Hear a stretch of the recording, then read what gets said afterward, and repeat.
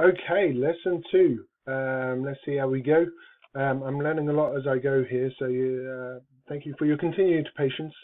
Um, we're going to talk about work um, today and how that relates to kinetic and potential energy. Um, we're going to do a bunch more questions in the class, and then they're not too bad yet. They're, they'll, they'll get fun. That's my dog. Um, yeah, barking at nothing. Good, good. Okay, anyway, let's move on. Work. Let's just remind ourselves what we know about work. Work is a force times a distance. Uh, I've always got to do the same amount of work if, for example, I'm lifting an object. I can either apply a big force over a short distance or a smaller force over a bigger distance, but multiply those two numbers together, I've always got to do the same amount of work. Um, again, the unit is joules, what we call joules, because force um, is mass times acceleration, kilogram meters per second squared times that extra meter, it's kilogram meter squared per second squared. We talked about that in the last lesson. This is a scalar quanti uh, quantity. This is confusing because you can have a positive work or negative work. That's not referring to a direction. That is referring to if I am doing work on a system or if the system is in effect doing work on me. Um, and I think that's just something that's going to come clearer when we start doing problems a bit later on. Okay. Um, okay, let me just pause it here pause it as I go, otherwise I end up saying something stupid that's totally incorrect and I have to go back and start all over again. At least this way I only have to go back a slide. All right, going fast. Um, let's talk about work and how it relates to motion. Now, we know work is a force times a distance. I'm going to kind of mathematically derive this uh, idea for us here. We know um, work is, um, a force is mass times acceleration, distance is uh, delta x uh, uh, displacement in this case, uh, but for our argument, we can use them interchangeably. Now, this acceleration times delta x, we can actually do a bit of tweaking with an equation we know to get acceleration multiplied by delta x. And that's actually the time independent equation. V final squared equals V initial squared plus 2A delta x. Just trust me on this. What we're going to do is going to do a little bit of algebra, rearrange everything. So we now have a delta x equals v final squared minus v initial squared all over 2. And then um, what we're going to do is now we have a delta x equals all of this mess here. I'm going to go ahead and plug it into this equation right there. And what that leaves me with is work equals 1 half m v final squared minus 1 half m v initial squared. Why do we care about that? Well, actually, we're going to define this as something. This 1 half mv squared, we're going to call it a name.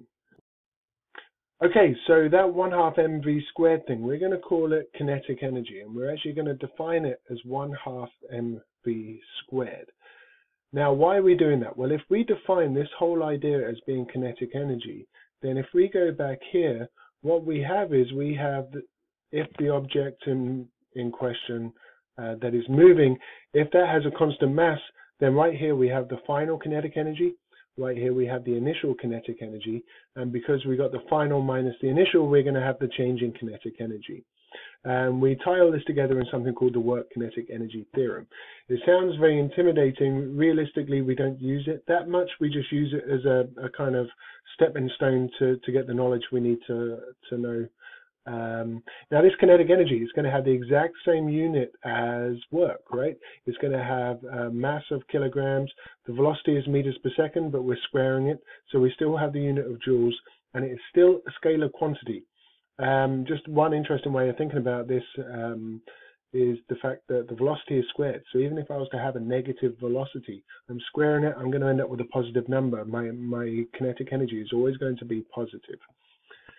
Um, so the work kinetic energy theorem, all that says is the amount of work you do on an object in a system is equal to the change in the object's kinetic energy. So work um, is uh, the change in kinetic energy, which is the final kinetic energy minus the initial kinetic energy. Um, and I'm just going to go back quickly.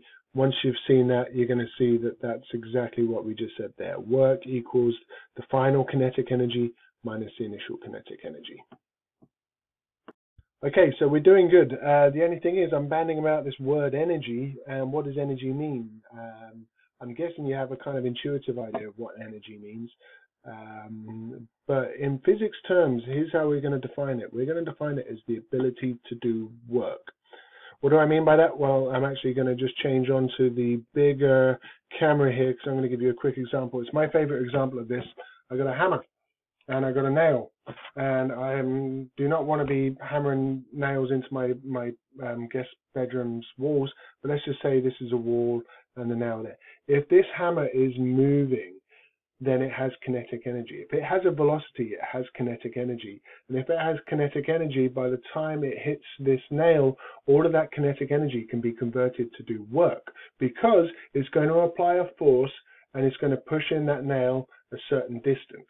Let me say that again. If this hammer is moving, it has a velocity, it has kinetic energy. That kinetic energy can then be converted into work to be able to force this nail a certain distance.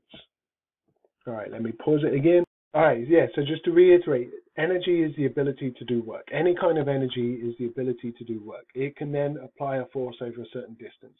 Kinetic energy, that's my favorite example, is the hammer there. Um, it's moving, and when it hits something, that can be converted to do work, to apply a force over a certain amount of distance. Um, but there's another type of energy, well, there's, there's multiple types of energy ultimately, but there's another type of energy we want to really talk about right now, and that is um, potential energy, uh, what we call gravitational potential energy. It only really matters if you have a gravitational field. Um, so at the end of the day, work is a force times a distance. Let, us just do this uh, a couple of ways. If I get my hammer, let me just uh, adjust this. I get this hammer, I lift it off the desk here. I'm lifting it a certain distance and I'm applying a force to lift it a certain distance. That force is then stored and I can actually calculate it by mass times gravity times the height I've lifted it. But this is now stored as energy because although I did work to lift the hammer up, if I then let go of it, this hammer is going to do work by dropping down. And then if this hammer was to hit a nail, then again, it could apply a force over a certain distance and drive the nail into my nice little desk here. So I'm going to get the heavy objects away so I don't damage my desk. But um, that's the idea of potential energy. If I do work on something, I lift it up. I have then given it this energy that it has potential to do work now. Um, all it has to do is drop down and then it can apply a force over a certain distance. So that's what we call potential energy. We use U as a symbol for this and we calculate it by mass times gravity times height. Um, one word of warning, I guess. Uh, the way the equation is written in your formula sheets is actually delta U equals mg delta Y. And the reason is they, they consider it more of uh, the change in potential energy. And part of that has to do with um, what we call, uh, sorry, it's a scalar quantity again, the exact same thing, by the way, um, kilogram meters per second squared times a meter. So I'm going to get my kilogram meter squared per second squared. Um, but sorry, why is it delta? It's because we need a reference frame. And the reason is, okay, I live on the ground floor here, but if I lift my hammer off the table, let's say I've lifted this 20 centimeters, so I can then calculate the amount of energy it has. Uh, if it drops at 20 centimeters. But then what if I had actually lifted it off the floor um, then it's going to have a lot more potential energy. Even though it's at the same height I'm holding it, if it doesn't fall on the desk, it falls on the floor instead, it's going to have a lot more potential energy. So we need to set up our reference frame, and this is why they, one of the reasons why they really like to talk about the change in potential energy, because pretty much wherever the object is, it has some degree of potential energy. It's only when you lift it does that potential energy change, so you can measure the change in potential energy. And that, I think, is all I've got for you today. Um, let's just go over what did we talk about.